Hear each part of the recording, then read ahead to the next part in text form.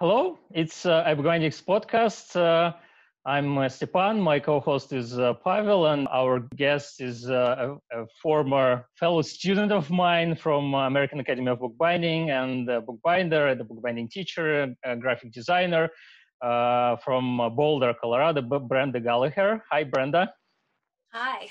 Hi, Pavel. Nice yeah. So should we should we move to some of your books to I don't know sort of show and tell? Yes, let's do that. So this is where I sit and do design work, and um, I, I have a lot of uh, tools and materials in here. Um, this is my desk, and behind my desk I have hidden a plow. Wow, that's and, a huge plow. Yeah, I really like this plow. Um, it's a Russell Bookcraft, and uh, I just I just love it. It's definitely in the way most of the time. So I kind of just, you know, scooch it back here. That's a museum then, specimen. Yep, and it's hidden back there most of the time. This I, is I think it's one of the largest uh, bookbinding plows I ever saw in my life. I like the pressure of that one. I like that it's, you know, it's a vice. Yeah. And it gets very tight. So yeah. I, I just, I love that. Yeah. Um, this is where I store decorative paper, and this is where all my books go that I'm going to show you. And then, yeah, this is where I keep all my stuff. And, uh, you know, it's a lot of stuff that oh, yeah. you need for bookbinding. And you were showing how people um, are storing their long tubes of book cloth and leather. Yeah. And this is kind of mine. It's uh, they're just paper tubes, mailing tubes. Yeah. Up there, and that's where I keep all of that stuff. Well, this work works great, and uh, that's that's a great, really great solution for storing uh, paper and cloth, and uh, sometimes even leather. Yeah, so it's just up out of the way. And then here's my book press. It's underneath the table. So I, you know, climb around under there. And more stuff under the table as well. Oh my Do you like your you tools know, real massive? Yes, paper scraps and all the, you know, like what do you do with all of these boards that you cut off when you're making books? You never know if you might be making a small book and maybe yeah. you maybe you might need that. I can never okay. throw them away. So I have a few books to show you today. So this book is a book that um, it's a project that Todd Pattison is doing, and um, he reached out to the to Janine Vangool, who publishes she publishes Uppercase magazine. She's pretty incredible. Do you know this magazine, Stepan? Uh, no, I don't think so. Okay, she's she's Canadian and she writes and publishes and designs this whole magazine herself. Mm-hmm. Whoa. And it's all about um, all aspects of craft and um, artistry and collecting. And is and it so, is it a quarterly or monthly yeah, I think edition? I think it's quarterly. Because yeah, yeah if she's doing uh, all of that on her own uh, uh, every month, yes. it, it, it would be just too too much work to do. It's just right. Impossible. Yeah, I do think. Yeah, this is quarterly, so this issue is October, November, December. Yeah. yeah. So she's, you know, we're on issue. You know, she's got about fifty issues, and um, now she's going back through her finished catalog and publishing books that are grouped thematically with uh, content that was previously published in the magazine. Mm-hmm. So this book is called Vintage Life, um, and it's a collection of of stories about um, quilting and collecting and a lot of artwork from the 1950s, uh, that mid mod style. And uh, she has these themed books. They're called the Encyclopedia of I think they're called the Encyclopedia of Crafts.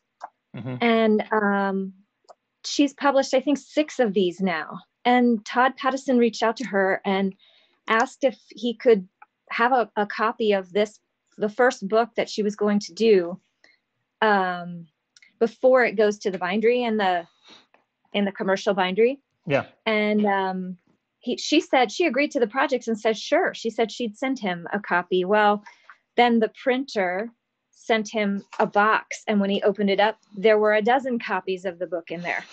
And so he thought, well, I'm not going to bind the book a dozen times. So he invited 11 other fine binders or binders to um, to bind the book too. And then every time Janine Vangool prints another book in the series of this encyclopedia, she um, sends a box of books to Todd, and the next 12 binders are nominated by the 12 that did the book before. I saw these uh, uh, photos of this book on your Instagram, and uh, unfortunately, the video stream here doesn't uh, uh, transfer the colors, uh, the true colors of the book, because I saw them and I was like, the colors are so amazing. I, I want to touch it. And it's somehow these colors are not very often seen in, in the bindings, in fine bindings. So I, I'm, I'm so impressed by your choice and uh, I, I love it. Are those textile inlays? Yes, these are all quilting fabrics because there is a lot of quilting discussed in this book. And so I, I looked for vintage textures and patterns in quilt fabrics, and then I uh, glued them to pieces of mylar that I sanded. And then those mylar discs are set into these little round um, indentations in the cover. I did a raised, uh, this part of this, it's like a muffin tin design because there's a lot of kitchenware in this book too. Mm-hmm. Um, and that that part of the design is raised underneath the leather. And so these set in there. Are the, uh, is the, the lettering hand drawn uh, by you? The lettering is not hand drawn on this book. Yeah, it's a font that I chose. It's a commercial font and it's from the 1950s. I just thought it had that look and feel from the 1950s. And um, I had a plate made, a letterpress printing plate called a yep. polymer plate made. And then I, I wet the leather and uh, used that plate to press the type into the leather. So it was cold stamped. It, it, it it's not hot stamped. Yes. And then I, after it was stamped, I painted in with uh, liquid acrylic to get it to be that green, that teal green color, which is a very 1950s color to me. Um, and oh, that's the- oh, I, I love the work you do on uh, on the book edges. They are they're um, always consistent with uh, uh, uh, with the book, and I mean, look at those colors. They're so much fun. Is that is that a small star, small star over there, or or what's that on, on the edge? Oh yeah, yeah, a little a little star. Okay. Yeah. That's that's a, a nice dazzle. Nice fine detail. It's you know a 1950s iconic design. Yeah. Okay, so I'm gonna put this one away and then I'll show you some of the other ones that I've been, well, I'll show you some of the older ones first. So this one. Oh, yeah. Um, yeah. We already discussed it a bit. Yes. So this one and is the book that I submitted to the open set on the open side. Um, this is a book. Uh, this book is so fabulous. I saw it in an issue of Communication Arts magazine and it was highlighted because this man, Allen Crawford, took this book, uh, Whitman Illuminated Song of Myself. He took the Song of Myself and he hand drew every word of this work by Walt Whitman. And so I don't, I can't even imagine how long that took him. It's printed in three colors. And I said to myself when I saw it, I would love to bind that. But of course, by the time it fe- it was featured in the magazine and I noticed it, it had already been published and it had already been through printing and binding. And there was no way for me to do the Todd Pattison trick and reach out to them and say, hey, can you grab me one before the binding? So I bought a copy and tore it apart and did the and I rebound it with a fine binding because I think this is wonderful. So it's printed in red and blue and green. And so my headbands are red and blue and green. Can you see that? Yep. Um, and then since the whole entire book is hand drawn type, it's almost like he designed a typeface that he continued to use throughout the book um, that's his own design. And I love that. So I made the top edge a hand drawn titling of the book. And then this was the first book that I ever did the trick of pressing with the letterpress plates, Mm-hmm. the polymer plates. Yeah. I'm getting a shadow, but let me see if I stand over here. Is that better, Stepan? Yeah, that's Yeah. that's that's a bit better.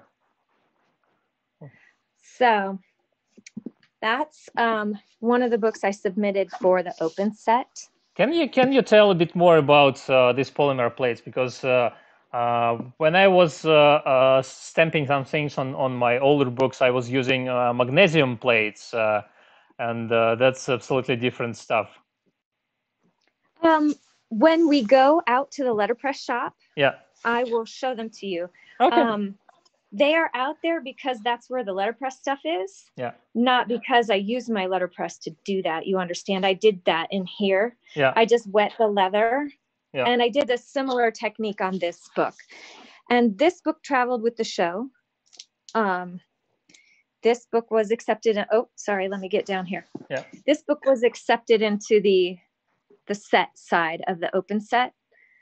Um, it's an interesting book. It takes a long time to discuss it. Um, the book is letterpress printed in such a way that um, the first line of text is very high on the book, and it's a letter um, from William Blake to one of his patrons. And the letter is basically, Hey, thanks so much for the money, and thanks so much for supporting me and my work.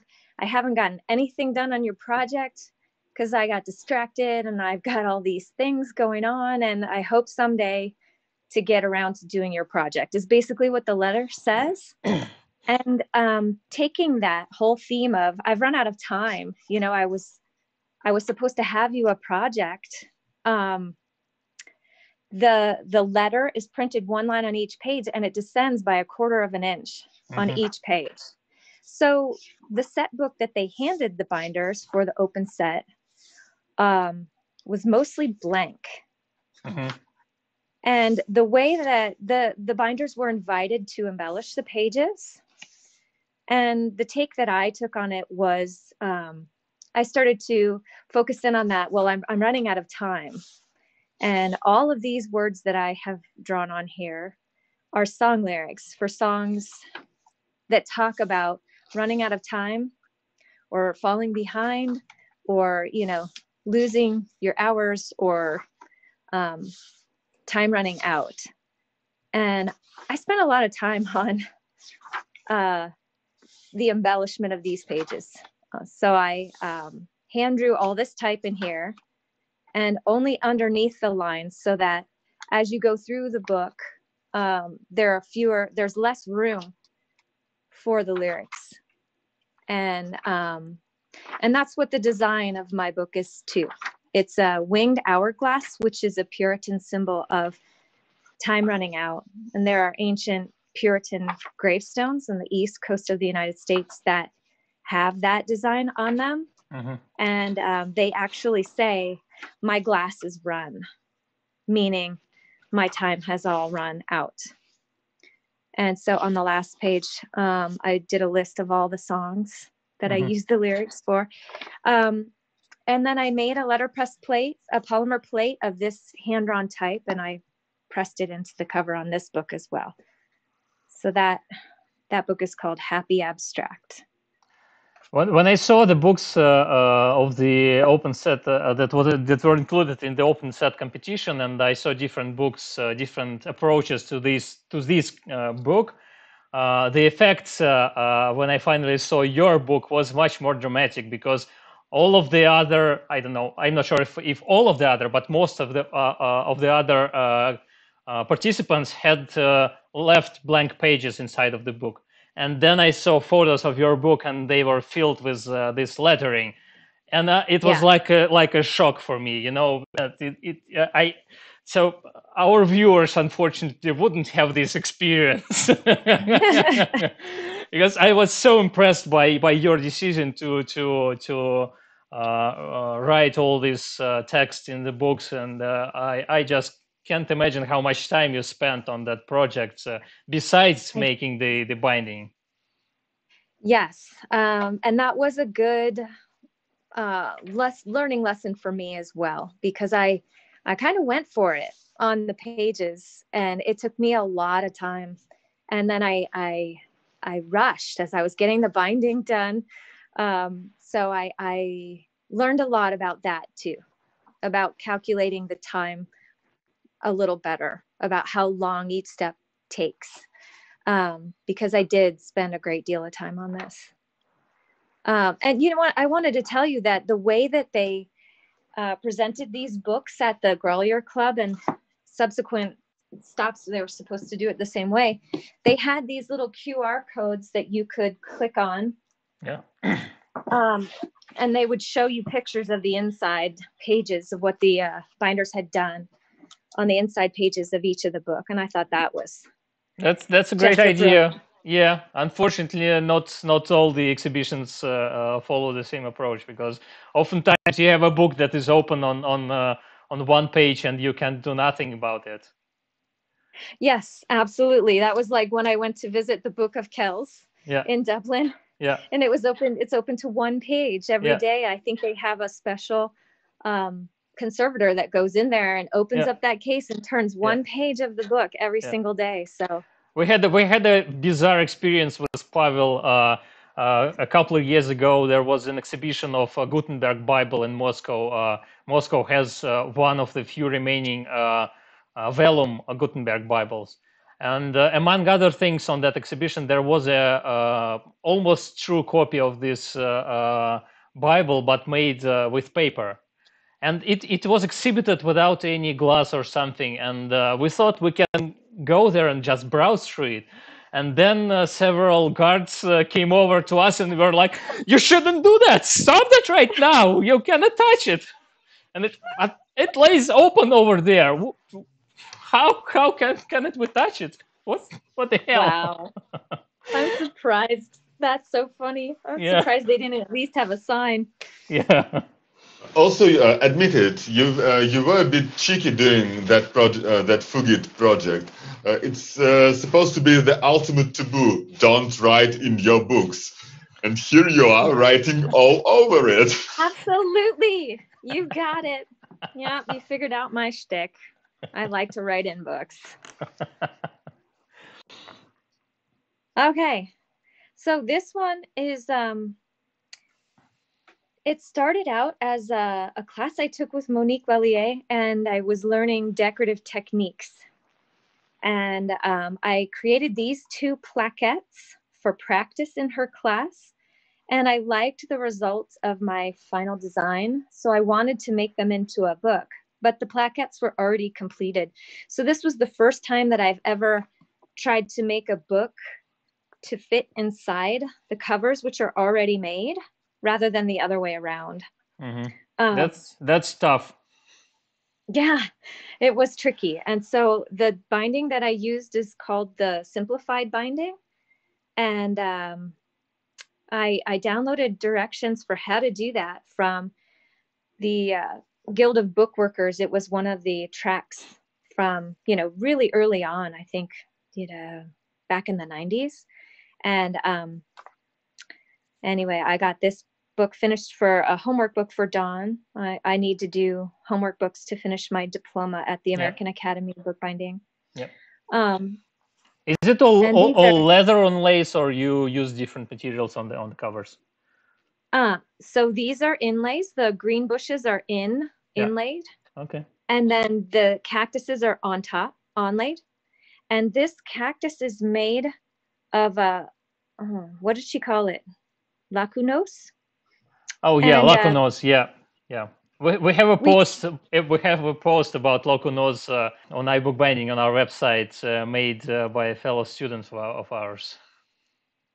yeah it's a lot of work and um, you're you know gluing together these scraps of parings and at first i thought oh this is going to be junky looking but um, i ended up loving it i think it's it's a really cool material to work with so these are all lacunose uh, this part of the design is um, I, I used that I used a rough grit sandpaper and I just wet the leather and imprinted that into the leather. And then this is um, hand tooled and sanded. And then um, I've begun experimenting with painting my own end sheets, which has been really fun. I like that. hmm Is this in watercolor? Yes. Okay. So, uh, what's what's your relationship with the book boxes? Because uh, different book binders have uh, different uh, approach to book boxes. For some, they are just you know a function, and uh, for some, it's uh, it's another piece of art or something. What's what's your approach to book boxes? I think um, if you have the opportunity to create another piece of art, why not do that? That's what I think. I mean, you're making the box anyway, so it might as well be beautiful and complementary to your book. So I think about it as another, a pre-introduction to your book. Um, and I learned how to make those double well, double walled clamshell boxes from Peter at the American Academy of Bookbinding. He has a very meticulous system, and uh, it's a Yeah. really great class. Yeah. well, Okay, this we, we also we also learned to uh, study together at uh, at his class of box making, and uh, he has this uh, system of gauges to to make the boxes perfect. Yes. This is just Yes. amazing. It's amazing, and I still use mine every time. Yeah. Okay, so this this book has a long story, Stepan. So I bought this book from Old Style Press in England, and uh, it's called The Girl from the Sea, and it's a Selkie story. Are you familiar with the Selkie? Yeah. So it's a woman Yep. um, who can change into a seal. She takes off her seal skin and she's a woman. And um, this is a this is just so breathtakingly illustrated by Michael Onken.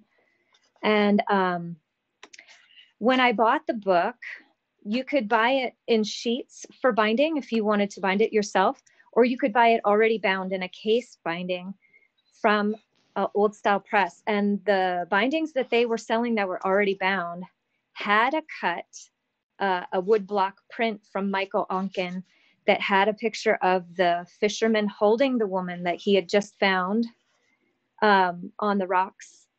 And i loved that print but i didn't get that print. And so i called and asked them and they said oh no you know we only printed enough of those to use for the bindings that we completed. We don't give those out to people who bought the book in sheets. That's So that's so I- strange. That's I, I think it's so strange. i know. I was a little disappointed. So i this is the part where i admit to um, tracking down the artist and asking which is the you know hey i'm a cyber stalker. But i reached out to michael and i said hey you don't know me but i just love this book that you did. These illustrations just i think really get to the heart of the selkie story. Um, and i didn't get that print and i would love to use it as the front fly sheet of my book. I was wondering if you had any um, any extra copies of that print. And he was so gracious and generous to me he wrote me back and said he would love to help me with my book and he looked in his files and he could not find any other prints and um, he could not find the original block that he'd cut this in so he sent me his original sketch and he said here just take it and cut your own block and Wow. i thought this is Um, so oh. amazing. This is it's, that's a true miracle story. Okay so i guess i i guess i could. So um i had his sketch sitting on my desk here in this you know pile of things i need to do for over a year.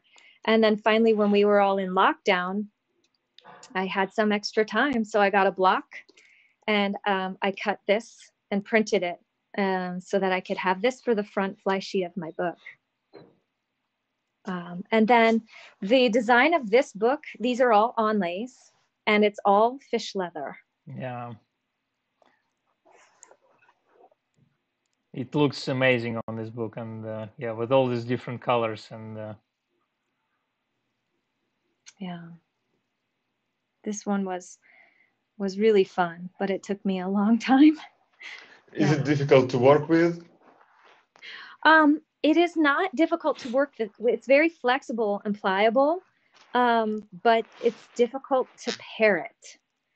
So fish leather is the skin of the fish where the scales are gone. They've been removed and the scale pattern remains in the skin. So the the leather itself has sort of dips in it, little waves. So if you try to pare it, then your knife slides over the bumps and then the you can easily cut into a part that you didn't mean to because it's not consistently uh, a consistent thickness. It's textured. Yeah, and then it's ruined. yes and then you have to cut out the piece again. So that's that book. And And did then you uh, have- did, uh, did you color the uh, did you paint the leather or was it already in all those colors? it's already all those colors um, And uh, uh, could, could you describe it? How is it to the touch? Is it uh, smooth or is it uh, rough like shark leather? Uh, because I've I've uh, handled a book bound in shark uh, shark leather one once, and it was like holding sandpaper. So this says Atlantic leather. Now, all of this um, fish leather comes from Iceland. And um, it's really a beautiful story because um, Iceland does so much fishing. And so after they remove the meat from the fish, uh, this is all waste product. This would all be thrown away. But if they stop, there's a company that stops and takes the time to preserve the leather and turn it into you know a, a material that you can use and they use this fish leather for all types of things they make you know anything that you could make out of uh, cow leather you know wallets and purses and all that. These ones that i'm showing you here are um, a wolf fish. Hmm are you familiar with the wolf fish? It has teeth and everything. It's one of the most terrifying fish i have ever seen I'm not sure Um, with with, has- with with fish uh, with fishes it's even harder because we may know uh, its its Russian name and uh, it will tell us something, but uh, uh, making translations from English into Russian it's it's so just so hard. Okay, I'm gonna just pull out a couple of other pieces so you can see. This is salmon. And salmon is the color, the Oh. kind of skin that I used on this book. this one we know. Yes, salmon, and then the This is wolf amazing. And it comes in, I mean, they have a dozen colors. Oh, the golden one. Yeah. Um, and my mother sent all of these to me. And again, I had them for a year before I was presented with the exact perfect project to use them on. well, that's that's just how it works. You have materials, and then suddenly you find some some project to use this uh, all these strange materials. And on this book, they're so appropriate. They don't look strange. They look like they belong. Uh, I had a lot of fun working with it. I will tell you the truth is that when you get this leather wet, it smells like fish. and and is there a dealer in in the United States, or uh, if if someone wants to buy it, they should go just go to this uh, website in Yes. Iceland? Oh, okay. Yes. So there's a sticker on the back of this skin and it says fiskurleather.com. They have a great website. I think that just like purchasing any material online, it's difficult to get a real sense of the color Yeah. on their website. And I find that um, some of the color names are confusing. So it'll say it's dark green, but the skin is actually um, not dark green. that might have been named that way because that's the dye that they used to Yeah. get the the color that they got, but it's not dark green. And so it's it's a little um, it's a little bit of a surprise when you order from them. Sometimes the skins show up and you think, oh, that's not at all what I thought I was going to get, but I can do something with that. Yeah. Okay. And then I have my most recent book to show you. Okay. Um, and this is a book that I completed for homework for Dawn. And um, I was fooling around on this book. like never fooled around before. that that was the first time. For sure. So this has a graphite edge with uh, square textures in it. And there, can you see my headband? Yeah. I guess you can. Um, I was experimenting on this book with, um, uh, let's see if I can make it happen holding it this way. This is a disappearing foredge. Mm. Can you see that? yeah. I wanna, I'll Absolutely. try again. Yeah. Okay. So I did it with graphite on, oops, graphite on the edge Yeah. to hide the painting. And then when you fan the pages, the painting is revealed. And this was the first one that I've ever done. Wow. So, I mean, that's I- that's really I- good for the first one. I was just fooling around and I, I put my name on it.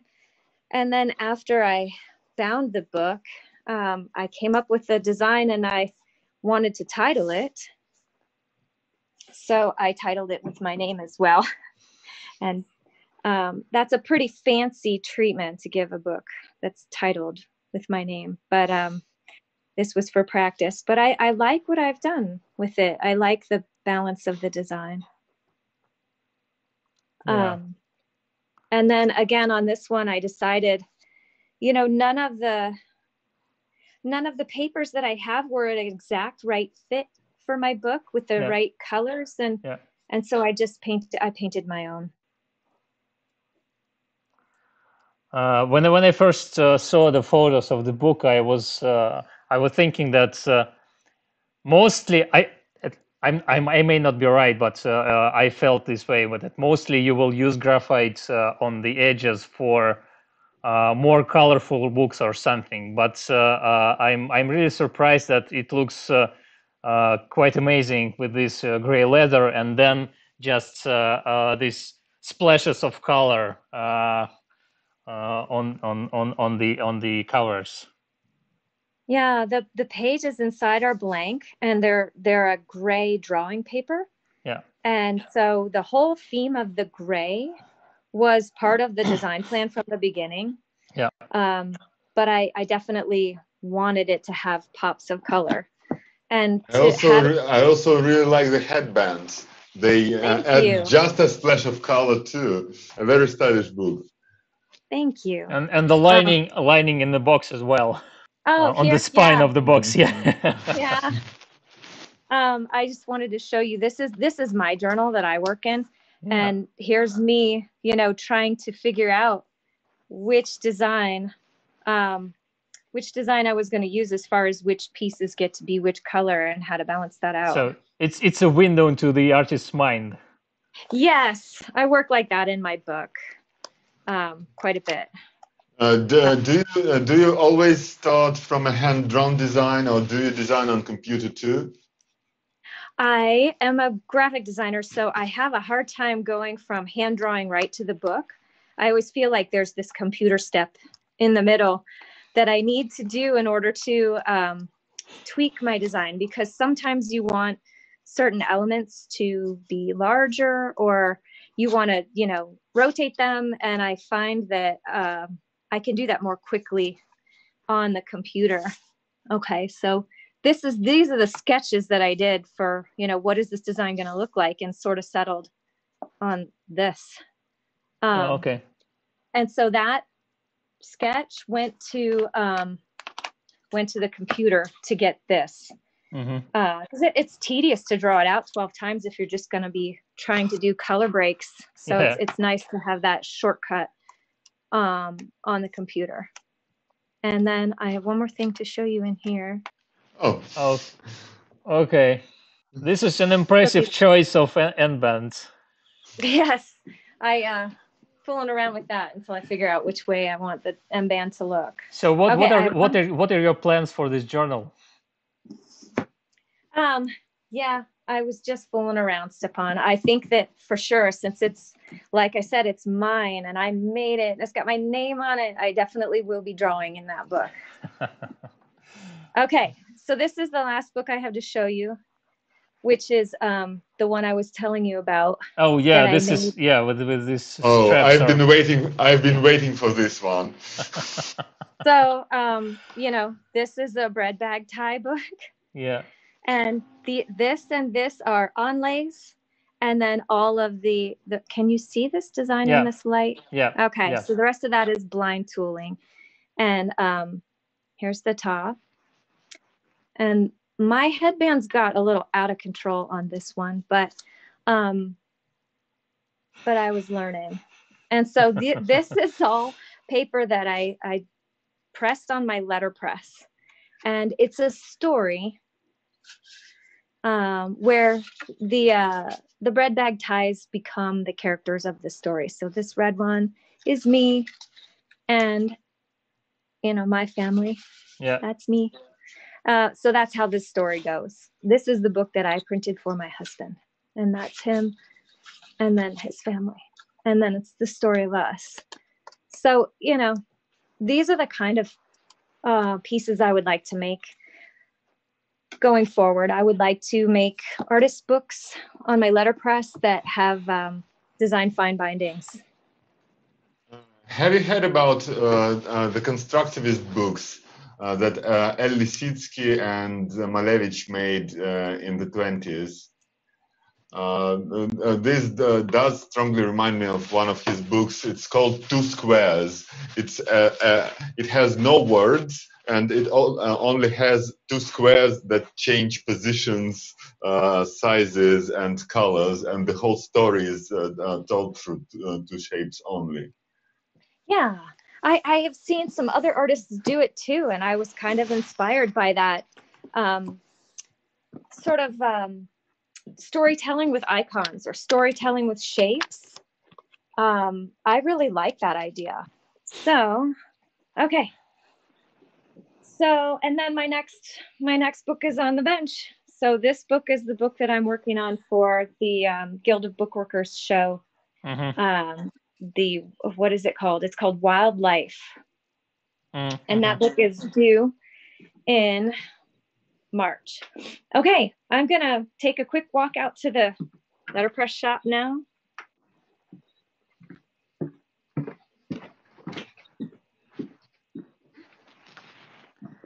Some nice pumpkins over there. Yes, we did some pumpkin carving. Okay, so um, I've got a collection of some smaller presses. And there is this. And- Uh, then there, there is this uh, cut you used to uh, for the girl from the sea story for the for the Oh, and shit. yes. Yeah. Yes, this is the block that I cut um, for that. And I only printed it a couple of times. I printed it by hand because um, we were in lockdown and I couldn't get to the Book Arts League where they have a really great uh, Vandercook press.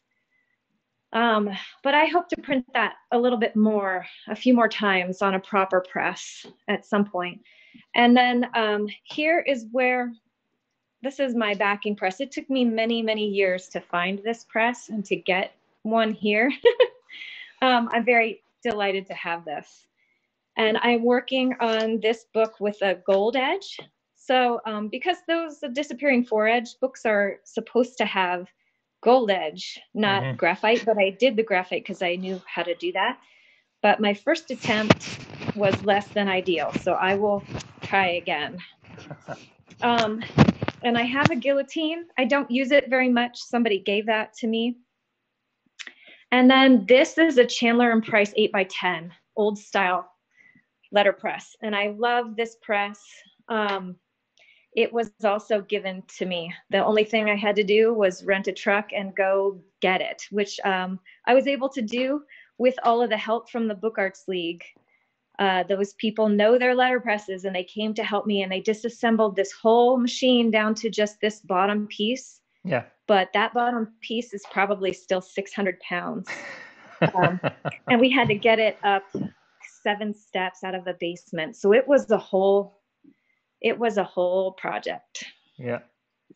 And then this is, you know, my boards Yeah. and my my craft paper and all of that. And and your half skulls. My what? I saw a, a skull, I think. Oh, yeah, it's just a bookend. okay, happens. Okay. um, my husband is a potter, and he um, he does a lot of skulls in his work. He's he's pretty amazing.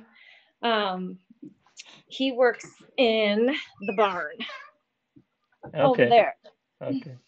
I just wanted to ask, uh, what's what's your family's relationship with your uh, bookish uh, ventures and bookbinding experiments and all that stuff? Do they share some of your interests, or that's reserved only for you in in your family? Well, um, it's mostly me, but um, you know, I did have my daughter in my Girl Scout troop, so she's made a number of books herself. And you know, I've I've helped my kids with some projects in school where you know putting it together as a book seemed like the best way to present the project, and um, that has been fun too. You know, we've done birthday parties where the kids make their own little coloring books and anyway, we've done a lot of fun things with the kids. My husband does not make books. My husband is a potter, and um, he's very active on Instagram in a, a, way that I I need to take some lessons from him. Um, he is Clay of the Dead on Instagram. Mm-hmm. Don't you ever collaborate? Don't you use the inlays he makes? Why not? Well, I I am thinking about it, and um, what's happened is there's uh, the the project with the Uppercase magazine continues, and Todd Pattison is getting the next group of binders together for the next um, the next book in that series, um, and the next one is a ceramics book. Yeah. And I would really like to bind that one, but I've already been chosen for the project, and there are lots of binders, I'm sure, that would love to bind for that project. So I just reached out to Todd and said, if you have an extra copy of that book, I would really love to bind the ceramics one. I'm already thinking of how I can collaborate with my husband and get some ceramic pieces that I could inlay into the cover, and um, that would be so fun and uh, we'll see we'll see if it works out. If it doesn't i'll have to figure out a way to collaborate with him on something else because i do like the idea.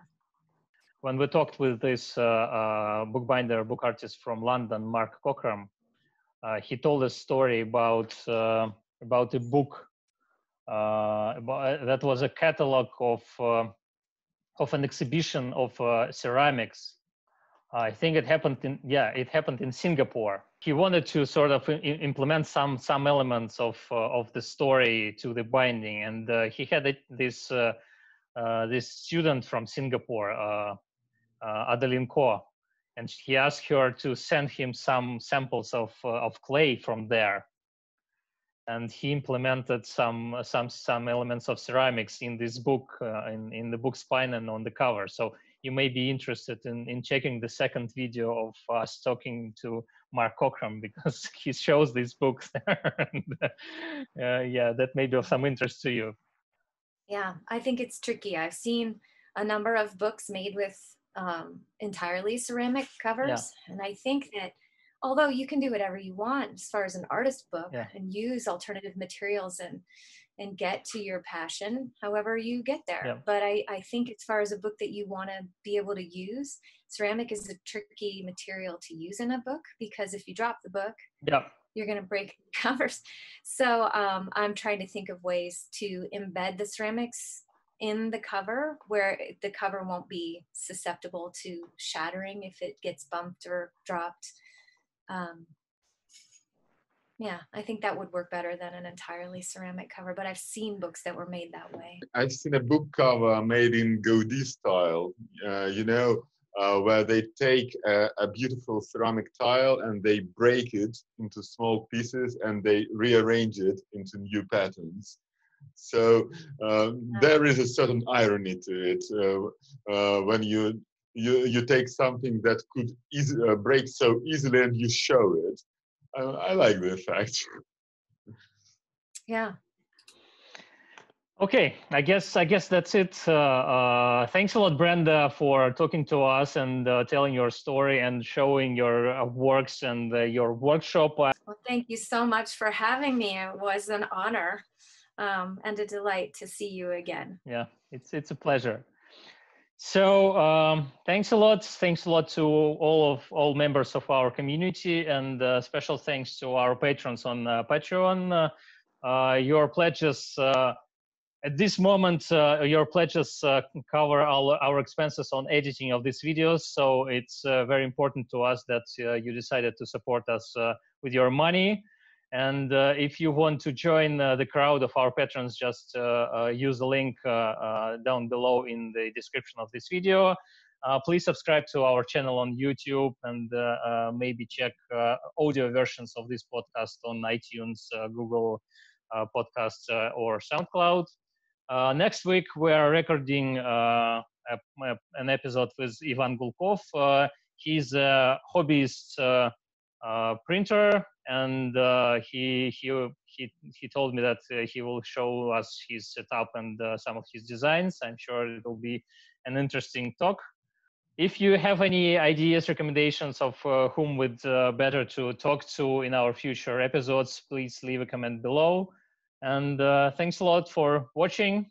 And by the way, Brenda, do you do you have any advice for us for about who we will better to talk to in our future podcasts uh, besides uh, Peter Geraty?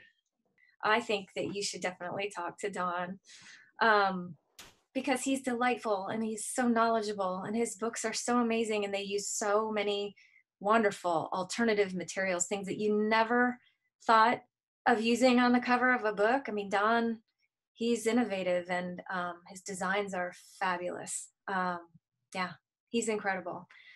I was a little intimidated because I, I feel like you have um, interviewed, I hope you don't include this, but I feel like you've interviewed a number of people who are really people who are big deals. Peter Geraty, you know? um, I don't feel like a big deal. I still feel like a student. But when I expressed this to Don, when I was talking to him, um, he said, you know, that he's still a student too. So guess we'll just embrace that we're all lifelong lifelong learners and that we're all on this road for the rest of our lives picking up new skills and new materials and new tricks. And um, i love that plan for me. Well that's that's a very important thing you you just told. And are you sure you you don't want me to include it in in, in the video? Because it's it's quite profound. Okay. I guess i just put myself in your hands Stepan okay yeah. That's that's true that uh, the thing is that we want to invite all the different uh, uh, uh bookbinders of uh, all the different levels and experience because it's really important to show people that uh, bookbinding can be quite different and you don't need to be an expert to make a book firstly. Next next you showed us your work and your work is really great. So uh, I, I, understand your feelings. I, I uh, always feel the same about my own works, but uh, uh your your work is definitely definitely worth the the story, and uh, yeah, it's really beautiful. Thank you.